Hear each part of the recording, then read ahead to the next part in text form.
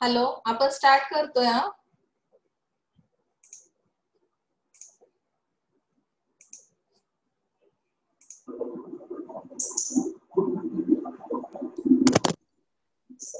I am literally very much busy अरे हिला बोल ना युट्यूब वरती का करायला बघीन संध्याकाळी. गुड आफ्टरनून आज आपल्या बीएमच्या लेक्चरमध्ये तुमचं सर्वांचं स्वागत. आज आपला हा दुसरा लेक्चर आहे. I know you all are bore because of introduction कारण की प्रत्येक लेक्चरला प्रत्येक टीचरांनी तुमची जी इंट्रोडक्शन घेतलेली आहे त्याच्यामुळे तुम्हाला असं वाटतंय की इंट्रोडक्शन व्यतिरिक्त काही शिकवणार आहेत की नाही बरोबर ना? तर इंट्रोडक्शन हा जो पार्ट आहे तो प्रोफेशनॅलिझमचा एक पार्ट आहे. जसं फॉर एक्झाम्पल तुम्ही कुठल्याही प्रोग्रामला गेलात तर तिथे स्पीकर कोण आहे? हे तुम्हाला माहिती नसेल तर तुम्ही जॉईन करता का तो प्रोग्राम अजिबात नाही. तसं सेम ऍज इट इज जो स्पीकर आहे त्याला जर माहिती असेल की आपल्यासमोर कुठल्या टाईपचा ऑडियन्स आहे. ऑडियन्स टाईपचा कुठला आहे म्हणजे काय? की तो एज्युकेटेड आहे अनएज्युकेटेड आहे कुठल्या लेवलचा आहे म्हणजे त्याचं एज ग्रुप कसा आहे? त्यानुसार स्पीकर काय करतो? डिसाईड करतो की मला या ऑडियन्सला कुठल्या वेने गेलं पाहिजे? माझे जे सब्जेक्ट नॉलेज आहे मी ज्या विषयावर बोलणार आहे तो विषय मी कशा पद्धतीने प्रेझेंट करायचा? इज दॅट क्लिअर तुम्ही नवीन आहात आणि त्यामुळे प्रत्येक टीचरांनी तुमचं इंट्रोडक्शन घेण्यामागचं मिनिंग ते होतं की आपल्यासमोर असणारा ऑडियन्स कसा आहे? आणि मी तुम्हाला मुद्दामून सांगेन की मी जवळपास गेल्या एक आठवड्यापासून तुमचे प्रत्येक लेक्चर अटेंड केलेले आहे. जे माझी प्रेझेंटिंग होती. त्यामुळे मला जनरली तुमच्याबद्दल थोडीशी आयडिया मिळाली की तुम्हाला नक्की काय हवं. बरोबर ना? मी पहिल्याच लेक्चरला सांगितलं की तुम्ही प्रोफेशनल कोर्स चूज केलेला आहे. आणि प्रोफेशनलिझम काय आहे हे प्रत्येक एका सब्जेक्ट मधून तुम्हाला समजणार. जसं की आज म्हणजे कालच्या लेक्चरला तुम्हाला सामळे सरांनी सांगितलं की हे मार्क्स स्टॅट काय आहे? मॅथ्समध्ये काय आहे? स्टॅटमध्ये काय आहे? कुठल्या गोष्टी इंडिपेंडंट आहेत? कुठल्या गोष्टी डिपेंडंट आहेत? सेम ऍज इट इज आपल्या जनरल लाईफमध्ये सुद्धा आपल्याला काय करायचं आहे? की हे जे फॅक्टर्स आहेत ते कशा पद्धतीने आपल्या लाईफवर इम्पॅक्ट करतात? किंवा आपलं लाईफ कसं बॅलन्स केलं जाईल? तुम्ही फायनान्सच्या सब्जेक्टमध्ये शिकाल की बॅलन्स शीट कसं बनवावं लागतं? बॅलन्स शीट बनवायला शिकणं म्हणजे काय? की फक्त आपण पुस्तकी नॉलेज घेणार आहोत काय ते? अजिबात नाही. आपल्याला काय करायचं आहे? या पुस्तकामध्ये जे काही नॉलेज आहे एज्युकेशन मधून आपण जे काही शिकतोय तर त्याचं इम्प्लिमेंटेशन आपल्या जनरल लाईफमध्ये करायचं आहे. आपल्याला नक्की एज्युकेशन काय प्रोव्हाइड करतं? तर एज्युकेशन म्हणजे फक्त पुस्तकामधलं वाचन करणं आणि पेपरमध्ये लिहिणं आणि मार्क्स मिळवणं एवढंच लिमिटेड आहे का? आपण जेव्हा आपल्याकडे आपल्यासमोर दोन टाईपचे पर्सन्स असतात बघा. एक एज्युकेटेड आहे अनएज्युकेटेड आहे. आपला व्ह्यू त्यांच्याकडे बघण्याचा डिफरंट असतो. जो एज्युकेटेड आहे त्याला खूप काही समजतं. किंवा त्याला जनरली त्याचं नॉलेज जास्त आहे अनएज्युकेटेड पर्सनपेक्षा. असं आपण कंपॅरिझन पण करतो. हे कंपॅरिझन का केलं जातं? कारण तुमच्याकडे जे काही आहे त्याचा तुम्ही वापर तुमच्या लाईफमध्ये कसा करणार आहात? जसं फॉर एक्झाम्पल तुम्हाला कवळे मॅडमनी सांगितलं की बिझनेस कम्युनिकेशन आहे. कम्युनिकेशन म्हणजे काय? बिहेवियर असेल. तुम्हाला तुमचं बिहेवियर कसं असलं पाहिजे? तुम्ही कुठल्या गोष्टींना रिस्पेक्ट दिला पाहिजे? कुठल्या ठिकाणी कशा पद्धतीने प्रेझेंट झालं पाहिजे? हे सगळं तुम्हाला बुकमध्ये सांगितलं जाईल इथे लक्षात. म्हणजे इथे काय आहे की तुम्हाला प्रत्येक एक सब्जेक्ट काहीतरी देणार आहे. अभी आ- आप लोग पूछोगे की मैडम लाइफ क्या है? लाईफ म्हणजे ऍक्टिंग आहे मुद्दा मग तुम्हाला सांगेल की तुम्हाला बऱ्याच लोकांना ऍक्टिंग मध्ये इंटरेस्ट बरोबर ना? ऍक्टिंग का आहे कारण आपण या लाईफ मध्ये वेगवेगळ्या रोल्स मधून जाणार आहोत। आपण आहोत हा एक प्लॅटफॉर्म आहे तुम्हाला मिळालेला. आता तुम्ही कुठल्या रोल मध्ये आहात? स्टुडंट्सच्या रोल मध्ये आहात. स्टुडंट्सचा रोल काय सांग कशा पद्धतीने तुमचं बिहेवियर असलं पाहिजे? तुम्ही रिस्पेक्टफुल असलं पाहिजे. ह्या सगळ्या गोष्टी नेसेसरी आहेत बघा. ह्या जर तुमच्याकडे नसतील तर तुम्ही इथून काही घेऊन जाणार नाही. तुम्ही प्रोफेशनलला जेव्हा ऍडमिशन घेतली तेव्हा तुम्ही ते पे केलेलं आहे. ऍटलिस्ट तुम्ही हे तरी लक्षात ठेवलं पाहिजे की मी इथे कशासाठी आहे? मला इथून नक्की काय घेऊन जायचं आहे? जसं तुम्हाला एक एक्झाम्पल सांगतो.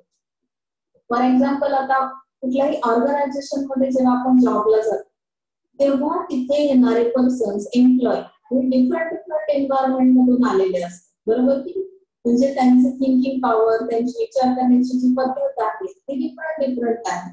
त्यांचं नॉलेज डिफरंट असेल. क्वालिफिकेशन सेम असेल. पण विचार करण्याची पद्धत ती वेगळी असते. जसं तुम्हाला मी एखादा मॅटर सांगितलं तर आणि त्यावर सोल्युशन एखादी केस स्टडी पूर्वी आपल्या बिझनेस मध्ये होतं. केस स्टडी एक केस दिली जायची बिझनेस रिलेटेड आणि त्यावर सोल्युशन काढायचं. मग प्रत्येकाचा पॉइंट ऑफ व्ह्यू जसा असेल तर त्या पद्धतीने आन्सर काढत होता तसं इथे आता ऑर्गनायझेशनमध्ये गेल्यानंतर प्रत्येक एम्प्लॉयने जर आपल्या माइंडने काम करायला सुरुवात केली तर त्या ऑर्गनायझेशनला कधीही फ्युचर असणार नाही. ऑर्गनायझेशन काय करते? ऑर्गनायझेशन पहिल्यांदा सेट करते तिचे गोल्स ऑब्जेक्टिव्ह आणि त्या ऑब्जेक्टिव्हला अचीव करण्यासाठी तुम्हाला काही रुल्स आणि रेग्युलेशन घालून दिले जातात. तुम्हाला काय वाटतं? यापेक्षा ऑर्गनायझेशनला काय वाटतं? आणि ऑर्गनायझेशनच्या अचिव्हमेंट काय आहे? याकडे आपण लक्ष देणं खूप गरजेचं आहे. एक्झॅक्टली म्हणजे इथे तुम्हाला काय होईल की प्रत्येक ठिकाणी प्रत्येक एन्व्हायरमेंटमध्ये आपल्याला कसं सुटेबल अशा पद्धतीचा बिहेव करता येईल कशा पद्धतीने रिस्पॉन्स द्यायचा आहे हेच तर तुम्हाला प्रोफेशनल कोर्स मधून शिकायचं आता आपला सब्जेक्ट आहे.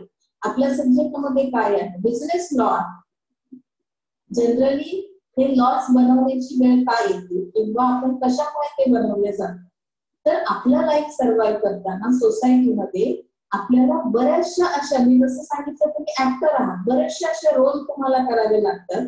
आणि ते रोल कशा पद्धतीने कंप्लीट करायचे? कशा पद्धतीचं बिहेवियर तुमचं त्यावेळी असलं पाहिजे? मग त्यासाठी तुम्हाला हे रूल्स रेग्युलेशन दिले जातात. आणि त्या पद्धतीने जर आपण बिहेव केलं तर आपल्या भविष्यामध्ये कुठल्याही अडचणीला आपल्याला सामोरं जावं लागत नाही. समजते मला नक्की काय सांगायचंय ते? आता तुम्ही माझ्यासमोर आहात. तुम्ही माझं लेक्चर ऐकताय. बऱ्याच स्टुडंटच्या माइंडमध्ये असेल काही लोकांना असं पण असतं की पॅरेंट्सनी खूप जबरदस्ती केली आणि त्यामुळे मला म्हणजे बीएमएस काय आहे? इथे मी आलेलो आहे. आणि मग त्यावेळी आपण काय करतो की आपला रिस्पॉन्स थोडा निगेटिव्ह असतो. हे माझ्या लक्षात आलं. जरा आठ दिवस मी ऑब्झर्वेशन घेतलं. तर आपण इथे आल्यानंतर आपल्याला काय करायचं आहे? की या एन्व्हायरमेंटमध्ये आपल्याला एकरूप व्हावे लागेल. त्याशिवाय तुम्हाला काही मिळणार नाही. आपलं इंटेन्शन सेम असलं पाहिजे. जसं ऑर्गनायझेशनमध्ये कामाला तुम्ही गेला की तिथे तुमचं इंटेन्शन एकच असतं प्रत्येक एम्प्लॉईचं की मला ऑर्गनायझेशनच्या अचिव्हमेंट घ्यायच्या आहेत आणि मी त्या पद्धतीने बिहेव करणार सेम आज इट इज इथे सुद्धा तुम्ही माझ्यासमोर आहात. लेक्चर ऐकतात ते लेक्चर करताना प्रत्येकाने प्रत्येक टीचर तुम्हाला बघा की त्या त्या सब्जेक्टबद्दल नॉलेज प्रोव्हाइड करण्याचा प्रयत्न प्रत्येकाची प्रेझेंटेशनची जी काही थीम आहे ती वेगळी असेल पण प्रयत्न हाच असेल की तुम्हाला त्या सब्जेक्टबद्दल अधिक माहिती मिळावी.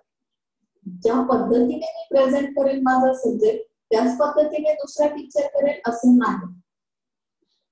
प्रत्येकाची डिफरंट पर्सनॅलिटी आहे प्रत्येकाचा डिफरंट सब्जेक्ट आहे आणि जो तो आपल्या पद्धतीने तुम्हाला पुरेपूर नॉलेज देण्याचा प्रयत्न करणार. त्यामुळे आपल्याला इथे काय लक्षात ठेवायचं? की आपण इथे काहीतरी शिकण्यासाठी आलेलो आहोत. तुम्हाला काही अडचणी असतील शंभर टक्के तुम्ही टीचरांशी बोलू शकता. फक्त त्या कशा पद्धतीने मांडायच्या अडचणी ते थोडस तुम्ही शिकलात तर बरं होईल बेटर असेल. कारण त्या पुढचे लेक्चर सुद्धा ते टीचर्स त्याच पद्धतीने तुम्हाला घेतील आणि मिसअंडरस्टँडिंग कुठल्याही फील्डमध्ये असू नये किंवा आपल्याबद्दल कोणाचे माइंडमध्ये मिसअंडरस्टँडिंग असू नये असं मला वाटतं. त्यामुळे मी हे पाच दहा मिनिटं तुम्हाला एक लेक्चर म्हणून नाही तर जनरल तुमचा पॉइंट ऑफ व्ह्यू माझ्या लक्षात आला. त्यामुळे मला हे सगळं बोलावं लागलं. तर आपण आपल्या विषयाकडे जाऊया. मी तुमच्यासमोर स्क्रीनवर जो काही दिसतोय तो आहे आपला बिझनेस लॉचा सिलेबस सिलेबस अतिशय सुंदर आहे. तुम्ही म्हणाल यात सौंदर्य कसलं मॅडम पाण्याची दृष्टी हवी. इथे बघा कॉन्ट्रॅक्ट ऍक्ट दिलेला आहे eighteen seventy what is mean by contract what is mean by agreement what is mean by consideration what is mean by pre concept म्हणजे ह्या सगळ्या गोष्टी तुम्हाला इथे फर्स्ट चॅप्टर अग्रीमेंट कशाला म्हणायचं? तुम्ही म्हणाल मॅडम अग्रीमेंट आणि कॉन्ट्रॅक्ट यात काय डिफरन्स आहे? तर आपण इथे आता फर्स्ट युनिटमध्ये बघणारच आहोत. कशा पद्धतीने? Remedies of breach of contract जर तुमचे कॉन्ट्रॅक्ट मध्येच सुटत असेल तर त्यावर काय उपाय केले पाहिजे? तर ह्या पद्धतीने फर्स्ट चॅप्टरमध्ये येईल त्यामध्ये सेल ऑफ गुड्स ऍक्ट सुद्धा दिलेला आहे. गुड्स म्हणजे काय? की जे प्रोडक्ट्स तुम्ही मार्केटमध्ये सेल करतात त्यासाठी तुम्हाला कुठल्या टाईपचे ऍक्ट दिलेले आहेत? मग त्या ऍक्टमध्ये सेल कॉन्ट्रॅक्ट काही conditions warranties implied conditions rights of unpaid sellers अशा पद्धतीच्या छोट्या छोट्या कन्सेप्ट दिलेल्या आहेत. निगोशियल निगोशिएबल इन्स्ट्रुमेंट हा जो तुमचा ऍक्ट आहे सेकंड चॅप्टरमध्ये. बघा इथे तुम्ही बघू शकता की कॅरेक्टरिस्टिक्स तुम्हाला स्टडी करायचे निगोशिएबल इन्स्ट्रुमेंटचे प्रॉमिसरी नोट्स म्हणजे काय असतो हा काय प्रकार आहे? तुम्ही आतापर्यंत वर्ड ऐकला असेल कदाचित पण ह्या नोट्स बनवताना तुम्हाला यामध्ये कंटेंट काय असलं पाहिजे? की प्रॉमिसरी नोट आहे हे तुम्हाला कसं समजणार आहे? बिल ऑफ एक्सचेंज म्हणजे काय? म्हणजे आहे चेक तर तुम्ही बऱ्याचदा बघितलेला असेल. तो चेक कशा पद्धतीने लिहिला म्हणजे तो करेक्ट असेल किंवा त्याचा वे काय आहे? पाथ काय आहे? डिसअनावर ऑफ चेक जर तो डिसअनावर म्हणजे रिजेक्ट होत असेल तर तो कशामुळे रिजेक्शन त्याला मिळू शकतं? तर इथे तुम्हाला कंझ्युमर प्रोटेक्शन ऍक्ट सुद्धा दिलेला आहे. नाईन्टीन फिफ्टी सिक्समध्ये जो बनवलाय की कस्टमर ऍज अ कस्टमर म्हणून आपला जो रोल आहे तुम्ही कस्टमर आहात. मी पण कस्टमर आहे. तर मग आपल्यासाठी अशी कुठली लॉजमध्ये काय प्रोव्हिजन आहे? की आपल्याला प्रोटेक्शन ऍक्ट कशामुळे? त्या ऍक्टनुसार आपण काय काय प्रॉब्लेम्स आपल्याला येतात मार्केटमध्ये गेल्यानंतर आणि त्यावरचे सोल्युशन्स काय असतील? Consumer disputes and complaints as a consumer म्हणून तुमच्या काय काय कंप्लेंट्स असतात? त्या कंप्लेंट्स कशा पद्धतीने मांडणार? बघा प्रत्येक फील्डमध्ये मी जसं तुम्हाला सांगितलं की असं कुठल्याही फील्ड नाही की जिथे काही प्रॉब्लेम फेस करावे लागत नाही. फक्त ते प्रॉब्लेम सोडवण्यासाठी आपला जो वे आहे तो करेक्ट असणं गरजेचं आहे. आणि त्यासाठी तुम्हाला हा जो बिझनेस लॉ आहे तो करेक्ट डायरेक्शन प्रोव्हाइड करतो. ओके थर्ड वन आहे कंपनीच लॉ आता memorandum of association that means MOA हा काय प्रकार आहे? हे मेमोरंडम कशासाठी बनवले जातात? त्यामध्ये कशाची प्रोव्हिजन केली जाते काय दिलेलं असतं नक्की? किंवा आर्टिकल्स ऑफ असोसिएशन म्हणजे काय आहे? त्यामध्ये कुठल्या पद्धतीचे रूल्स आणि रेग्युलेशन्स येतात? प्रॉस्पेक्टस कसं बनवलं जातं? आता तुम्हाला जे काही आपण हार्ड कॉपी देत होतो प्रॉस्पेक्टची ती आता सॉफ्ट कॉपी मध्ये तुम्हाला प्रोव्हाइड केली असेल ऍडमिशनच्या वेळेस. किंवा तुम्ही या अगोदरही इलेव्हन ट्वेल्थला जे ऍडमिशन घेतले त्याचे प्रॉस्पेक्ट तुम्ही बघितले असतील. की प्रॉस्पेक्टमध्ये जे काही मटेरियल जे काही इन्फॉर्मेशन तुम्हाला दिली जाते त्यामध्ये कंटेंट कुठल्या टाईपचे असले पाहिजे त्याला सुद्धा काही रेस्ट्रिक्शन्स आहेत. आणि ते रेस्ट्रिक्शन्स कुठले असतील तर ते आपण इथे बघणार आहोत. मीटिंग कशा अरेंज केल्या जातात? किंवा त्या मीटिंग आता सपोज तुम्ही आपल्याकडे आहात. एमएसचे स्टुडंट आहात. एमएसच्या स्टुडंटमध्ये सुद्धा आपण सीआर करतो. त्यानंतर क्लास रिप्रेझेंटेटिव्ह नंतर सब्जेक्ट रिप्रेझेंटेटिव्ह असतात. त्यांचे सुद्धा मीटिंग असतात. मंथली एक मीटिंग तर तुमची होतेच होते.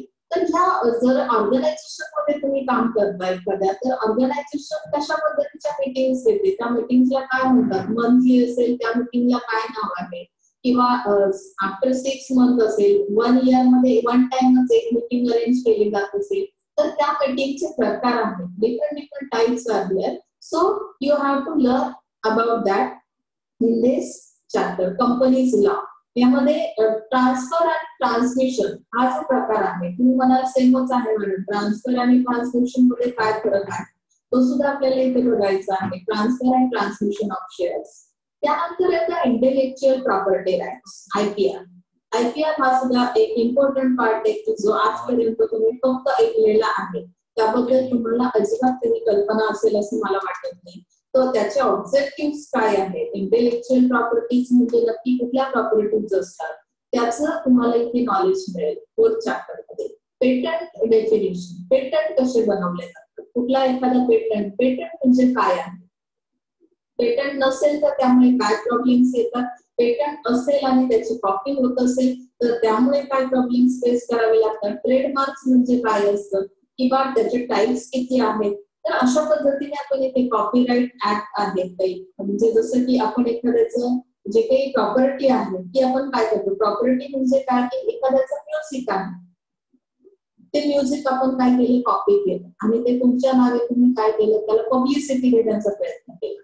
कॉपीराईट ऍक्टनुसार तुम्हाला त्या पद्धतीची प्रोव्हिजन काय सांगते? कशा पद्धतीने तुम्ही ते घेऊ शकता मटेरियल विदाउट परमिशन कोणाच्या जर तुम्ही एखाद्याची पब्लिश केलेलं मटेरियल डायरेक्टली तुमच्या नावे पब्लिश करत असाल तर तिथे सुद्धा तुमच्यावर काय केलं जातं? ऍक्शन घेतली जाते. इथे जॉग्राफिकल इंडिकेशन हा सुद्धा पार्ट तुम्हाला आहे. आता हा झाला तुमचा ओव्हरव्ह्यू तुमच्या सिलेबस रिलेटेड आता ऍक्च्युली आपण फर्स्ट टॉपिककडे जाण्यापूर्वी मला थोडीफार आयडिया आहे की मुलांना कॉन्ट्रॅक्ट हा प्रकार कॉन्ट्रॅक्ट म्हणजे काय असतं? कॉन्ट्रॅक्टचे जॉब्स काय असतात? त्याबद्दल माहिती आहे थोडीफार. पण आपण इथे जे काही कॉन्ट्रॅक्ट किंवा अग्रीमेंट स्टडी करतोय बघा तर जनरल व्ह्यू जर तुमचा लक्षात घेतला तर तुम्हाला एक एक्झाम्पल देईल स्क्रीन बघूया आपण. आता त्यांनी सांगितलं की इंट्रोडक्शनमध्ये every day in our life we are entering into agreements and contract तुम्हाला मॅडम आजपर्यंत मी एकही कॉन्ट्रॅक्ट साईन केलेलं किंवा अग्रीमेंटचं रजुवात केलेलं नाही पण असं असू शकत नाही त्यात ते पुढे तुम्हाला लक्षात येईल की कशा पद्धतीने there can be no one who can ever say he has not enter into agreements and contract and it is however possible that they may enter into them knowing कधी कधी तुम्हाला अनपेक्षितपणे तुम्ही त्यामध्ये जाता. तर त्यामध्ये त्यांनी कॉन्ट्रॅक्टचं एक्झाम्पल कसं दिले? किंवा अग्रीमेंट कसं दिलं? बघा एक्झाम्पल दिलं बाईंग अ फ्लॅट तुम्ही एक फ्लॅट बाय केला. मग त्यामध्ये कॉन्ट्रॅक्ट आलंच कॉन्ट्रॅक्ट कशा पद्धतीने केला? तर यामध्ये मिनिंग काय सांगितलं बघा अग्रीमेंट म्हणजे एक्झॅक्टली काय? The term agreement for a layman means to agree here one person offers or proposes to another and the latter agrees to the offer or proposal made and this results in an agreement. Let us see one example. A offered to take B for a movie and B agrees to go with A and this results in an agreement. Here A means A means one person, one party. Offer त्यांनी काय केलं ए पर्सनने B पर्सनला offer दिली कुठल्या पद्धतीची offer दिली की आपण मूवीला जाऊया हा तुमचा खूप आवडीचा विषय आहे मला माहिती. मूवी पाहणं हे तुम्हाला सगळ्यांना आवडतं. पण बीने पण ती ऑफर काय केली? ऍक्सेप्ट केली. B agrees to go with A म्हणजे बी पर्सन जो आहे. मी कोणी असेल तुमची गर्लफ्रेंड असेल तुमचा बॉयफ्रेंड असेल व्हॉट एव्हर तर इथे तुम्हाला काय झालं की एने जी ऑफर बीला दिली ती बीने ऍक्सेप्ट केली आणि तो रेडी झाला. बरोबर? दिस रिझल्ट इन अन हे काय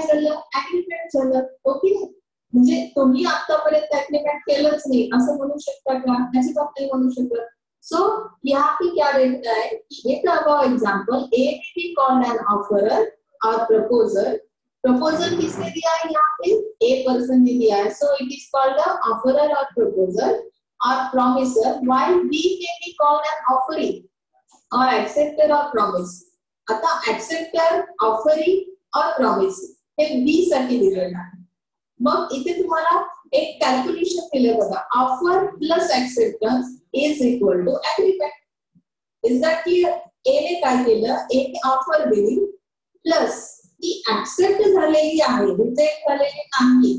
अग्रीमेंट केव्हा बनेल? जेव्हा ऍक्सेप्टन्स असेल त्या ऑफरला तुम्ही प्रपोजल काय टाकलं होतं? की मूवीला सोबत जाणार आहे. बरोबर की नाही? सो ह्या फॉर बेसिक थिंग्स बघा. याच्यावरच पूर्ण तुमचं पुढचं चॅप्टर असणार. तुम्ही म्हणाल मॅडम खूप सिंपल आणि खूप वेळ घालवताय पण हे जर नाही समजलं की ऑफरी कोण आहे किंवा ऑफरर कोण आहे तर तुम्हाला इथे काय होईल? प्रॉब्लेम ऑफरर म्हणजे जो ऑफर देतो तो आणि ऑफरी म्हणजे जो ऍक्सेप्ट करतो तो.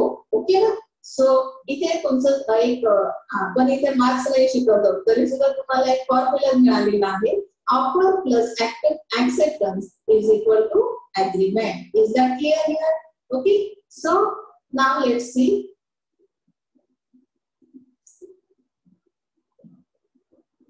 Definition. आता अग्रीमेंट आणि कॉन्ट्रॅक्ट हे जर मला एक्झॅक्टली वर्ड मध्ये सांगायचं असेल, त्याची डेफिनेशन तर मी कशी राईट करणार आहे अग्रीमेंट अंडर सेक्शन टू त्यामध्ये पुन्हा ई कॉलम येतो बघा म्हणजे सेक्शन्स आहेत तुम्ही जर घटनाक्रम पाहिला की जी घटना लिहिलेली आहे त्या घटनेमध्ये अशा पद्धतीच्या प्रोव्हिजन आहेत. सेक्शन्स बनवलेले आहेत कॉलम्स आहेत.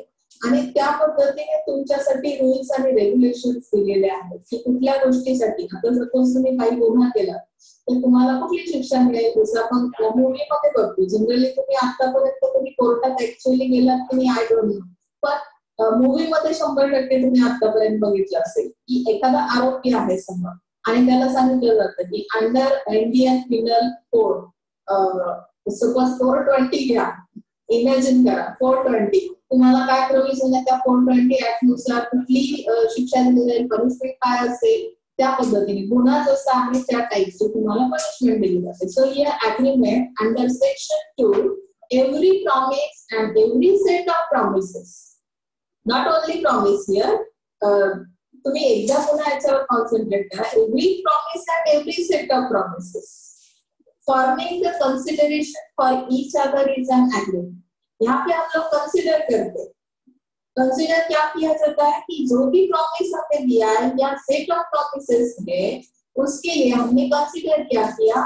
कि जैसे कि यहाँ पे ए पर्सन ने बी को ऑफ़र दिया और बी ने वो एक्सेप्ट कर ली तो यहाँ पे बी ने कंसिडर कर लिया कि इस टाइम पे हमें मूवी देखने के लिए जाना है दैट मीन्स ये सोच के ये कंसिडर करके उसने वो ऑफ़र क्या कर ली एक्सेप्ट कर ली so it is an agreement contract. Contract is what? Contract in under section 2 in column H.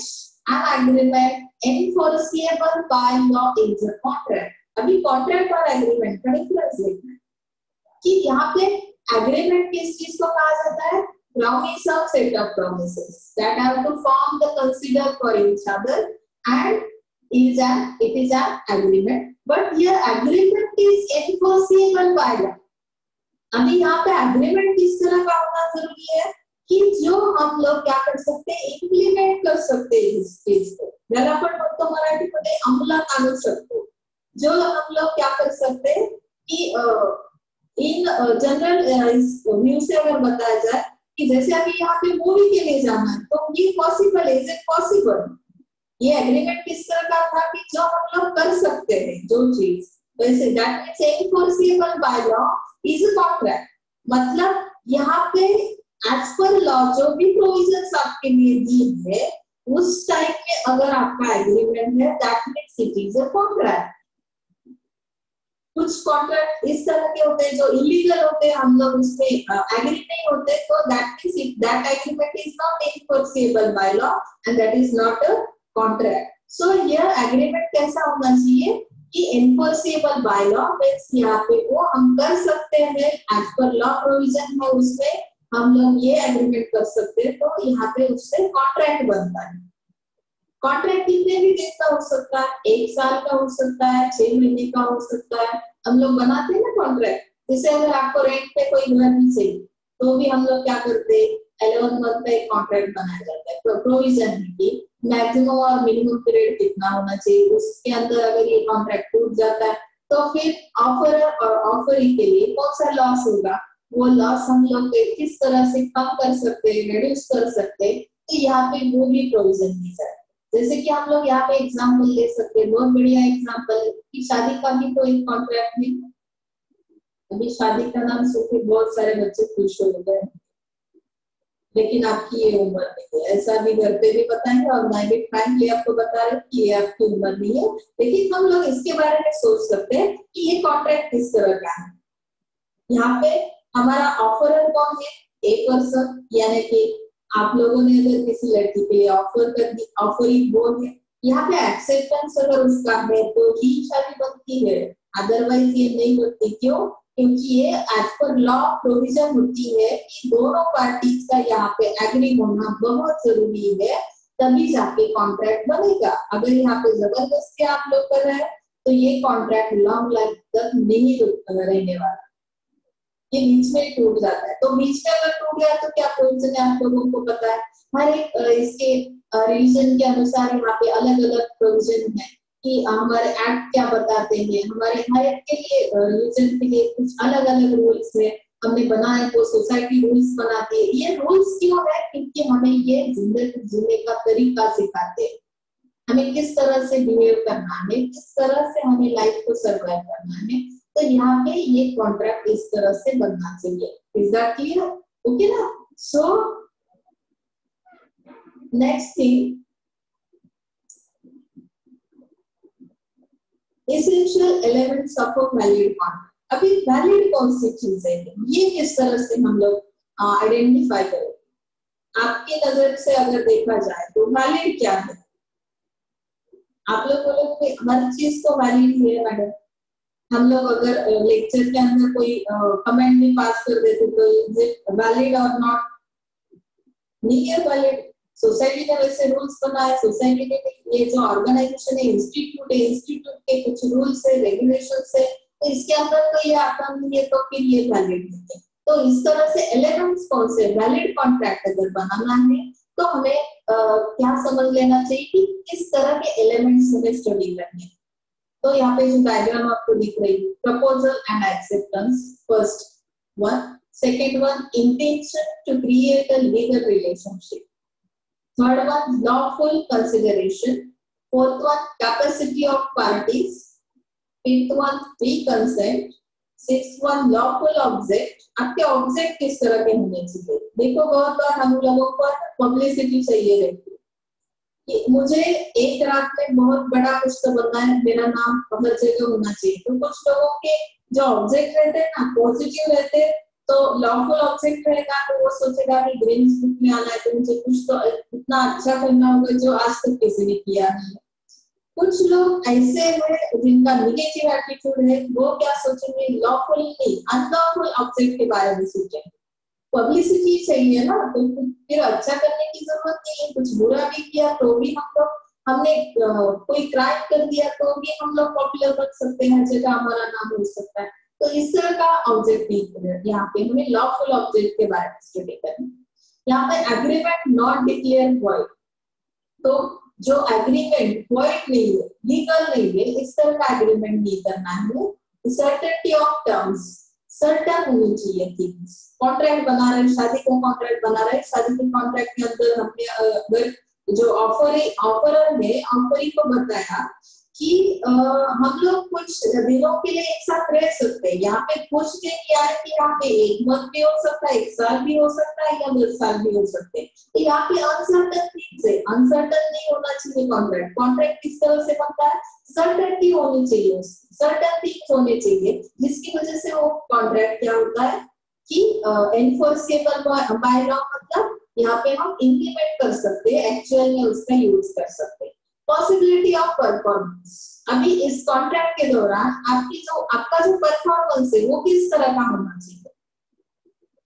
Performance मतलब जैसे कि अगर आप स्टूडेंट हो, आप अभी किसी एक लेक्चर चल रहा है, आप लेक्चर कंडक्ट कर रहे हो तो यहाँ पे आपका जो परफॉर्मेंस है, वो मेरे ख्याल से कैसा होना चाहिए? एज अ टीचर मैं क्या सोचूँगी? या एज अ स्टूडेंट आपका बिहेव कैसा होना चाहिए? परफॉर्मेंस पे बहुत यहाँ पे फोकस किया है। क्योंकि बहुत बार ऐसे होता है कि दो पार्टी तो कर लेते एग्रीमेंट तो सही से बनता है लेकिन वापस आपके परफॉर्मेंस की गड़बड़ होती है।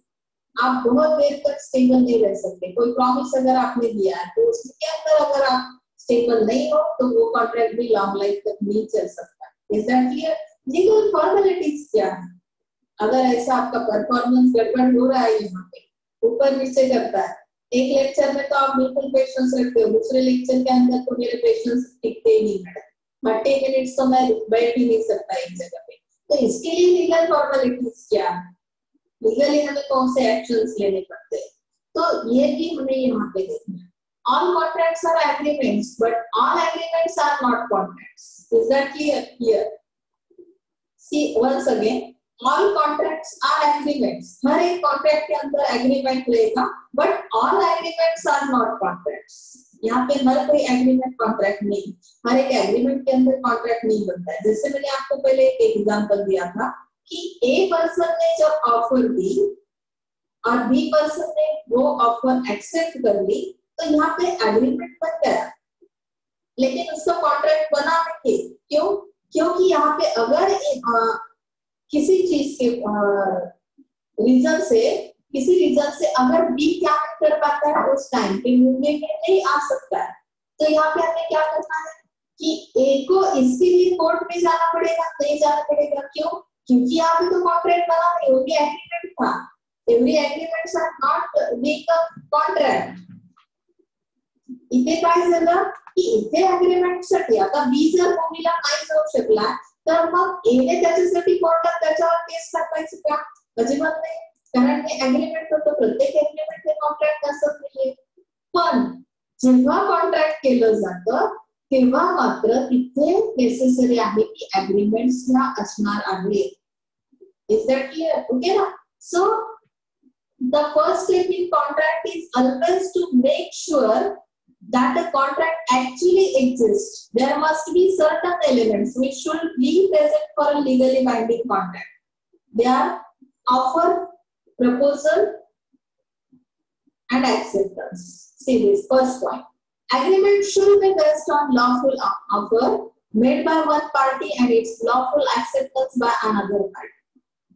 जसं मी फर्स्टली तुम्हाला सांगितलं की इथे जे प्रपोजल आहे तुमचं काही प्रपोजल असेल जसं तुम्ही एखादं प्रपोजल टाकत गर्लफ्रेंड समोर do you like me if you like me then you have to wear a green colour dress that is your proposal green signal देना है ना? एक्सेप्टेंस अगर है आपका तो आप ग्रीन ड्रेस का जो भी आपका ग्रीन ड्रेस है, वो पहन के आना है। आपको अगर नहीं बोलना आता है तो बोलना नहीं आता है मतलब वो स्पीचलेस नहीं है। लेकिन यहाँ पे आपने इस तरह का प्रपोजल दिया। ए पार्टी ने बी पार्टी को दे दिया। यहाँ पे क्या हुआ कि हर एक कॉन्ट्रैक्ट के अंदर दो पार्टीज़ का होना बहुत ज़रूरी कॉन्ट्रैक्ट बनाना है भाई तो। एक पार्टी से तो कॉन्ट्रैक्ट नहीं बनता है ना। यहाँ पे दो पार्टीज़ होनी चाहिए। प्रपोजल किसको लेंगे लेकिन सामने कोई तो होना चाहिए। अगर मैं हाथ में रोज लेके खड़ी हूँ और मैं बोल रही कि ये मेरा जो मेरी ऑफ़र है किसी को देनी है तो देने के लिए तो कोई सेकेंड पर्सन होना चाहिए ना अदर पार्टी होनी चाहिए। तो यहाँ पे नेसेसरी क्या है कि दो पार्टीज़ का होना ज़रूरी है। एंड दैट मीन्स यहाँ पे कॉन्ट्रैक्ट बनता है। That is one party making the offer and the other party accepting it proposal accept किया ये कैसे समझेगा? हमें रिस्पॉन्स तो मिलना चाहिए ना। सो so, एक पार्टी ऑफ़र देगी दूसरी पार्टी एक्सेप्ट करेगी। दैट मीन्स यहाँ पे क्या बन गया? आपका कॉन्ट्रैक्ट एक such an offer and acceptance will confirm to the rules laid down in contract act regarding valid offer and acceptance अभी वैलिड ऑफ़र एंड एक्सेप्टेंस क्या है? आपका प्रपोजल किस तरह का है?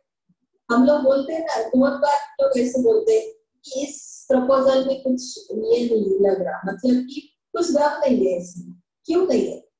क्योंकि ये वैलिड नहीं लग रहा। बहुत बार हम बहुत सारे प्रपोजल रिजेक्ट कर देते क्यों करते हैं ऐसा? क्योंकि हमें उसमें वैलिड चीज़ें नहीं है वैलिड थिंग्स नहीं है। तो यहाँ पे हम लोग रिजेक्शन भी कर सकते हैं। Okay so intention to create a legal relationship हर कोई प्रपोजल हर कोई ऑफ़र किस चीज़ के लिए दी जाती है कॉन्ट्रैक्ट के अंदर? तो हमें कुछ लीगल रिलेशनशिप्स बनाने हैं तो हम लोग क्या करेंगे कि हमारा इंटेंशन उस तरह का होना ज़रूरी है। यहाँ पे मैंने आपको ऑफ़र दी कि आप मेरा लेक्चर करो। बिज़नेस लॉ है। आप आपको मैं ये पूरा सेमिस्टर पढ़ाने वाली हूँ। तो आपने एक्सेप्ट तो कर लिया, लेकिन आपने मेरे साथ जो रिलेशनशिप बनानी थी, वो अगर नहीं बना पाए तो आपका इंटेंशन अगर सही नहीं रहा तो आपको वो नॉलेज नहीं करने वाला।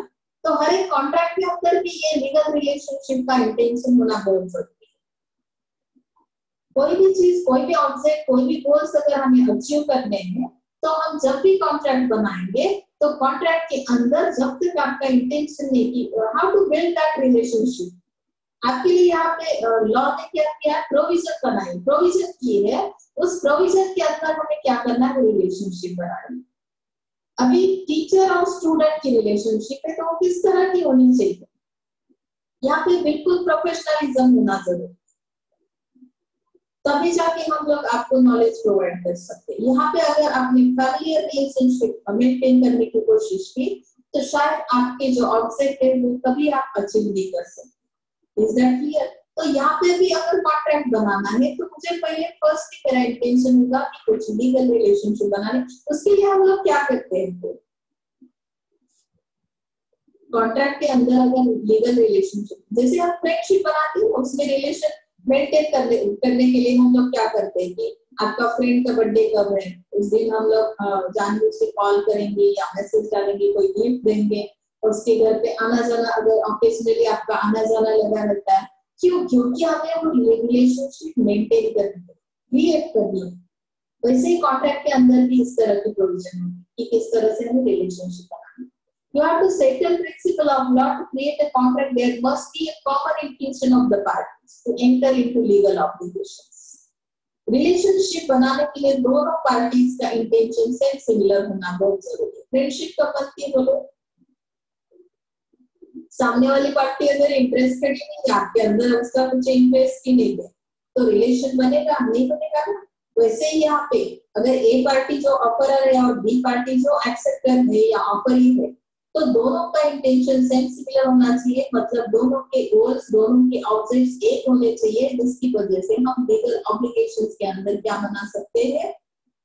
रिलेशनशिप बना सकते हैं। सो so, यहाँ पे एक एग्जांपल भी इंटरेस्टिंग एग्जांपल दिए इसमें। मुझे बहुत पसंद है ये सब्जेक्ट पहले से। An agreement to have a cup of tea at a friend's house is a social agreement a friendly agreement can not be called a contract जैसे मैंने पहले बताया कि फ्रेंडली एग्रीमेंट जो है उसे हम कॉन्ट्रैक्ट नहीं कर कह सकते। यहाँ पे आपको टी के लिए ऑफ़र मिली है। आपके फ्रेंड के हाउस के हाउस में आपको जाना है तो ये सोशल एग्रीमेंट है। कोई भी आपको खाने पे बुलाता है चाय पे बुलाता है तो ये उसका मतलब ये तो नहीं कि ये कॉन्ट्रैक्ट है। कभी आप नहीं जा सके तो अगर आपके लिए कोर्ट में जा रहा है तो वही इससे तो रिलेशन बनाना नहीं है। ऑफ़र देता है, अगर एक्सेप्ट किया और हम लोग नहीं जा सकते तो ये तो बंदा कायदे कानून दिखा रहा है तो ये तो कुछ कॉन्ट्रैक्ट तो नहीं है ना है ना तो इस इससे हमें पता चला कि इंटेंशन सेम सिमिलर होना ज़रूरी है रिलेशनशिप का होना ज़रूरी है Third type is lawful consideration. Consideration must be included in any valid one. अभी consideration किस टाइप का होगा भाई, मैंने आज इसको पेंसिल दी थी लेक्चर के अंदर कल मेरा पेन तो खराब हो गया तो इसने शायद ये मुझे कल पेन दे सकता है। अगर आज मुझे इसको ज़रूरत है, मेरी पेंसिल की तो कल अगर मुझे किसी चीज़ की ज़रूरत हो तो ये देगा, ये सोच के, ये कंसिडर करके मैंने क्या कर दिया उसकी हेल्प इज़ दैट क्लियर तो यहाँ पे लॉफुल कंसिडरेशन इस तरह का है। तो समथिंग इन रिटर्न इस तरह का कंसिडरेशन यहाँ पे होता है। An agreement is legally enforceable when one get something in return for something that means ये समथिंग क्या है? समथिंग कैश में हो सकता है प्रॉमिस में हो सकता है पास्ट प्रेजेंट फ्यूचर के बारे में हो सकता है। Is that clear so fourth one is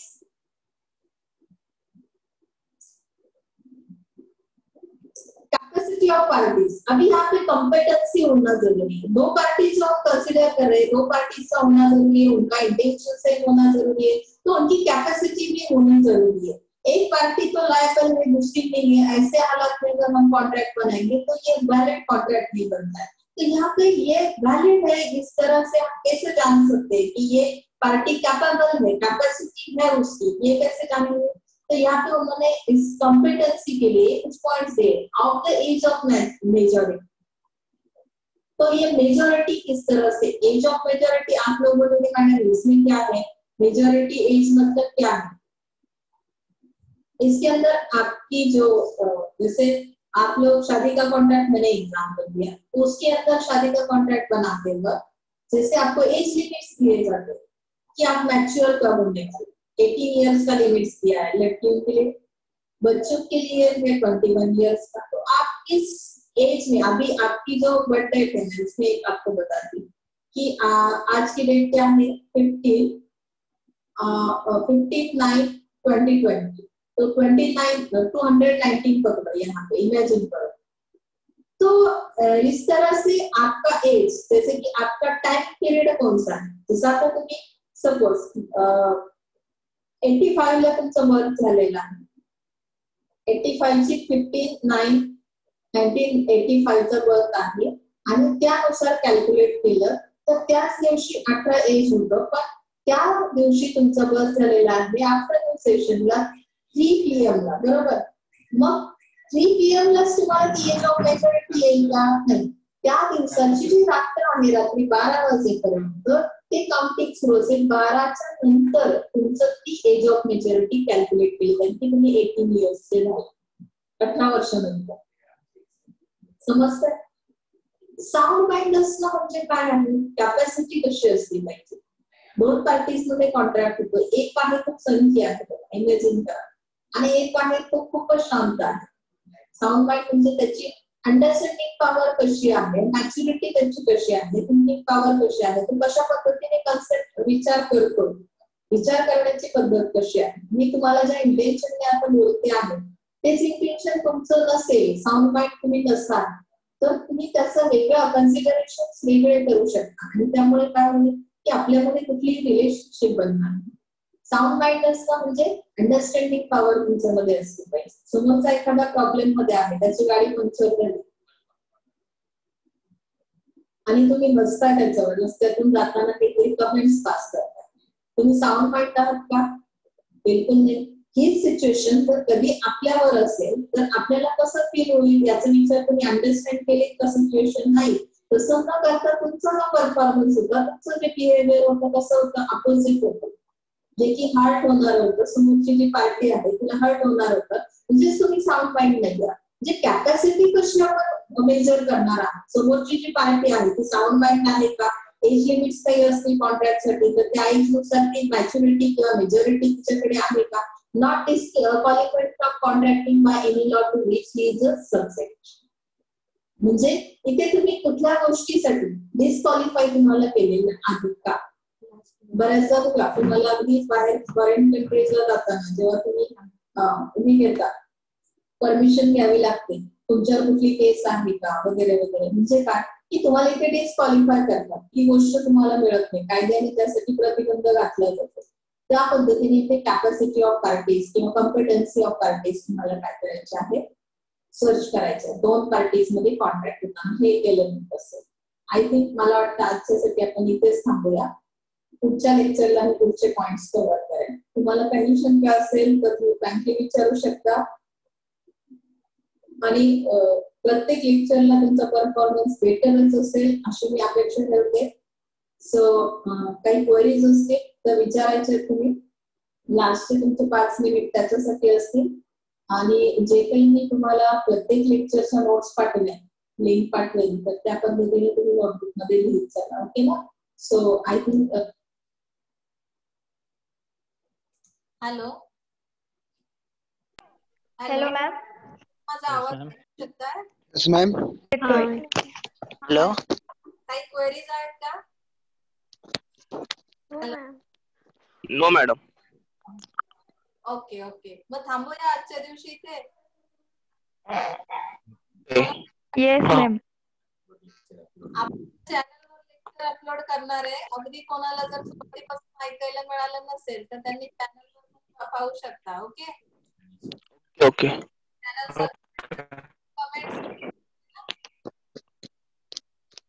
Akash Sawardekar. Yes madam. तुमचा आवाज़ ब्रेक होतोय madam.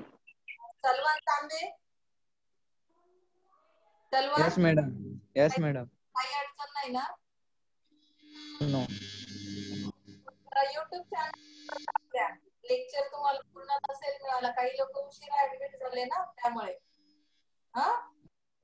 हो हो. मीटिंग एंड करूया ना? Yes yes yes